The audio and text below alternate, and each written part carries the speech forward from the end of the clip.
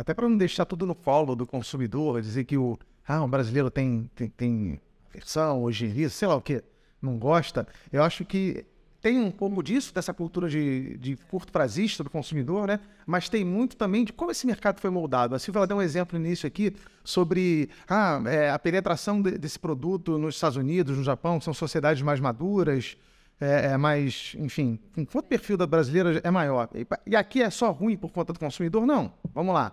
É, eu acho que em cima desse pensamento de curto prazo, desse consumidor pouco maduro, o mercado também se moldou de maneira muito imatura, sim, né? Sim.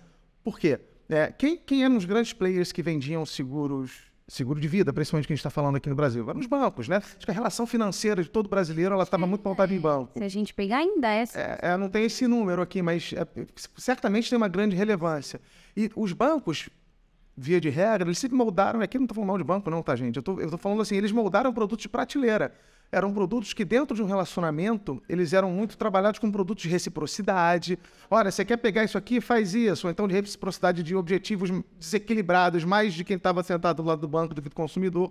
É, então, eram produtos moldados de maneira muito genérica, não eram feitos à mão, né? tailor-made, como a gente fala. Então, é, eu acho que isso trouxe um pouco de preconceito e, e, e justifica um pouco dessa aversão.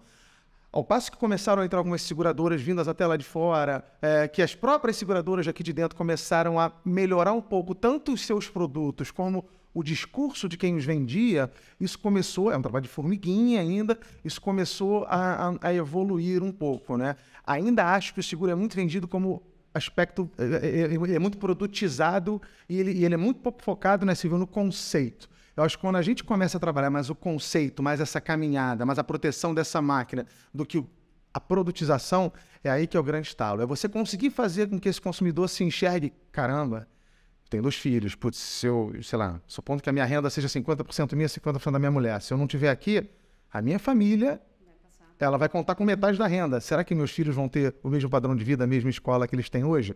Será que a minha esposa e eles vão ter o mesmo. Então, assim, é um, é um produto que ele tem um viés emocional e um viés de longo prazo muito grande.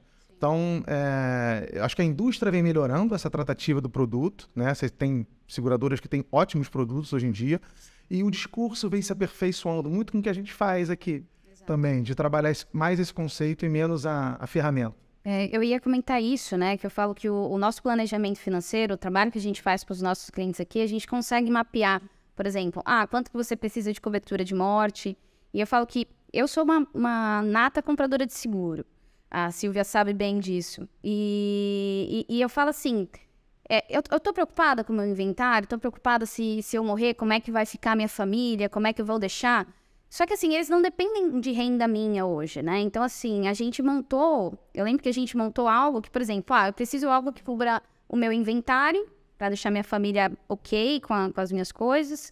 Mas principalmente a gente focou em invalidez, doenças graves, que há uma incidência muito grande hoje em mulheres com câncer de, de mama, câncer de, de, de útero, ovários, que, se eu não me engano, cobre e, e, e, essa questão da invalidez também, porque se hoje eu paro de trabalhar, se hoje acontece alguma coisa, também como é que eu fico? Então, assim, eu acho que, eu acho que assim, eu, eu particularmente, eu gosto bastante de falar isso para os clientes, dessa capacidade da gente mapear né, quais são as necessidades dele e trazer isso para o mundo e montar algo personalizado realmente. Trabalhei muito tempo em banco e a gente sabe que em banco a gente não, não faz um trabalho bem feito dessa forma, puxando sardinha aqui para gente, mas, assim, é, é que literalmente a gente não consegue, não tem tempo, né, no banco da gente fazer algo personalizado, investigar realmente o que precisa na vida da pessoa. E trazendo um outro podcast que a gente fez, eu, eu acredito até que foi o último, que a gente falou sobre sucessão, como é que funciona a sucessão. Você trouxe o exemplo da família da renda de 50-50. A gente vê muitos casos também onde as famílias não têm noção de quanto vão pagar no inventário. É, e, e assim, ah, e todo mundo fala, não quero deixar dinheiro para ninguém, não quero deixar nada. Mas tem, de certa forma, mesmo assim, você tendo família, você tendo alguma coisa, você vai deixar uma dificuldade para sua família ali, sim, sem pensar nessa cobertura de morte.